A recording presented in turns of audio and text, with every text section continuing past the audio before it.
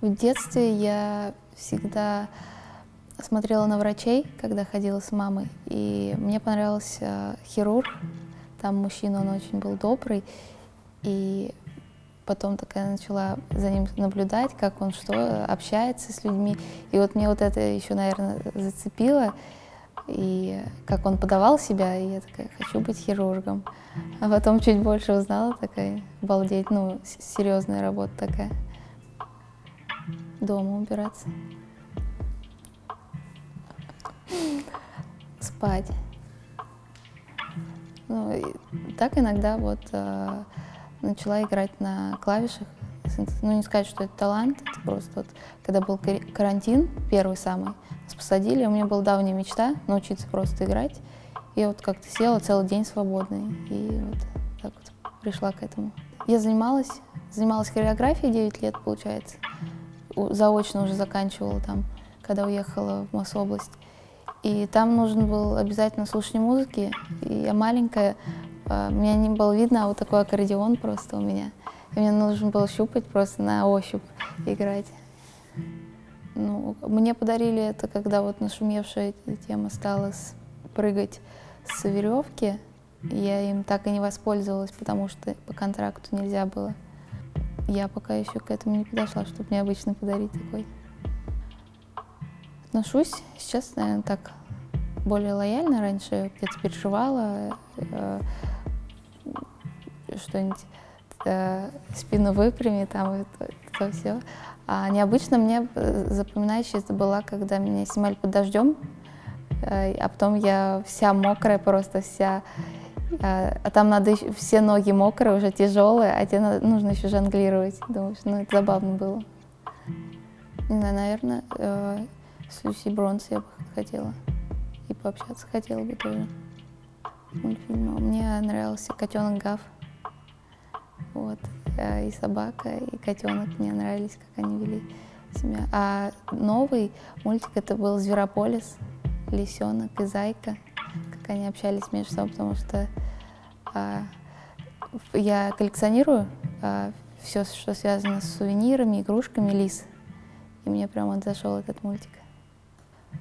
Шопинг. Всегда.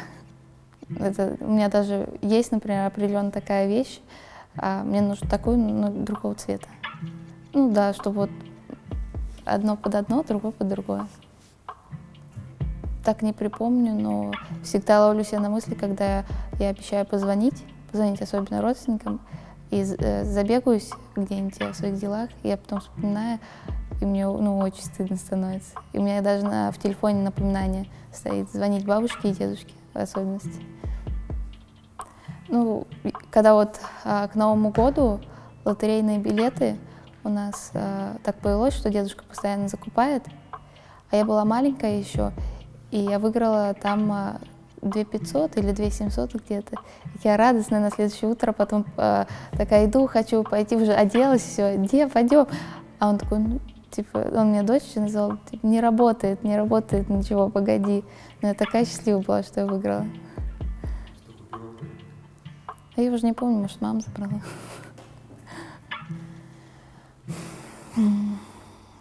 Непунктуальность. Прям. Когда если я приду ко времени, а человек опоздает, нет, все. Или если человек пообещает, а не выполнит. Лучше тогда не обещай. Седьмой лепесток. В любом исполнении. А с вокальными ну, так, по настроению. Ну, наверное, больше насекомых, но так, если я буду одна, один на один, ну, мне придется с ним справляться. Ну, самой придется. А если кто-то будет, я, пожалуй, лучше его сделать за меня это. В машине засыпала. Мы когда э, ездили э, на природу, один раз там, ну, палатки были, а я заснула в машине просто такая. А, ну, все договорились, что в пала- машине никто не спит. Я просто зашла там и уснула сразу. Я, кстати, ну, задавалась сама этим вопросом, что я очень, очень послушная была в детстве. Но мне тяжело было, что вот как особенно, в особенности папа, у меня папа был военным, и у меня детство все проходило вот в строгом режиме прям. Я и на горохе стояла один раз, так был такой момент. И, наверное, вот из детства я вспомнила, когда я запомнила, куда мама положила конфеты, а я их своровала. Ну, очень много, я очень много ела сладкого, и она у меня прям отбирала. Или я помню, когда я не вернулась домой, а, в определенное время, в обед где-то там погуляла с девочками, бабуля мне сказала вернуться во столик-то, я опоздала, я прихожу к ней, и я вижу, что она меня встречает просто с крапивой. Я от нее, она за мной. Я думаю, ну нет. Так как-то к ним экзотически отношусь. Но ну, так я хочу лесу себе. Финька бы завела. Вот. А, но я бы и сейчас его завела. Но так как в разъездах постоянно у меня был э, кот Джонни, он маленький, его выкинули, я приутила его к себе. А вратарь Анастасия Ананьева мне звонит по фейстайму утром и сразу его показывает. И за, за него начинает говорить, типа, возьми меня домой, здесь такое. Я понимаю, что не могу. Но все равно взяла, она мне со звенигорода под подмышкой привезла его. И он так жил. Потом тяжело было оставлять, я вот его маме вернула грязяк. Ну, там, там здорово, потому что дом, он бегает, сам себе хозяин, чем в квартире. И вот я бы завела себе финька, когда уже будет своя семья, свой дом. Ну, зайку бы, наверное, и сыграла из Зверопольца. В недалеком будущем стоит Индонезия, а так еще бы хотелось бы Канада, там побывать, красивые места. Не смотрю YouTube, отучилась от этого. Какие-то вот снимают э, челленджи, ролики какие-нибудь, именно блогеры. Просто ну, не слежу за этим. И...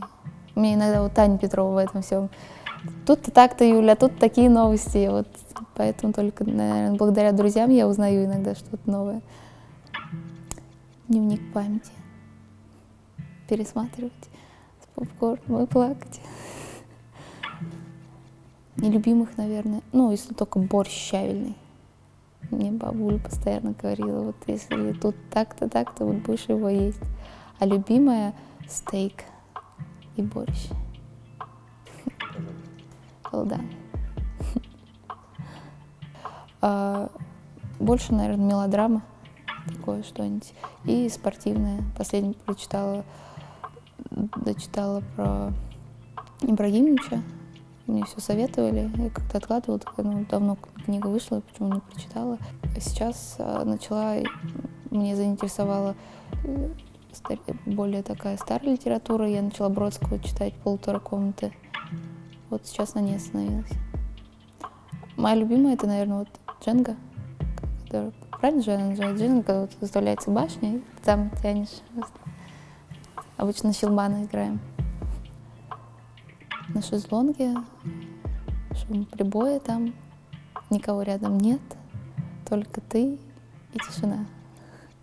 Да, ну, мясо на нас люблю в духовке готовить. Так, в основном, любое, что захочу, так и приготовлю. Если где-то подсмотреть, ну, ингредиенты, рецепт, а так обычно за что берусь, ну, в основном получается. Моя соседка э, Рита Мануилова тоже. А у нее прям вообще она дотошная к уборке. А у меня волосы, если вот упадут, она вот так вот берет, это твое, забери. Мы с ней даже договорились, что я не сушу голову в ванной, у себя в комнате. Закрыла, посушила и пропылесосила сразу. А, я еще на, э, в дом, в квартиру вот, э, открываю. У нас коврик еще в подъезде, в общем.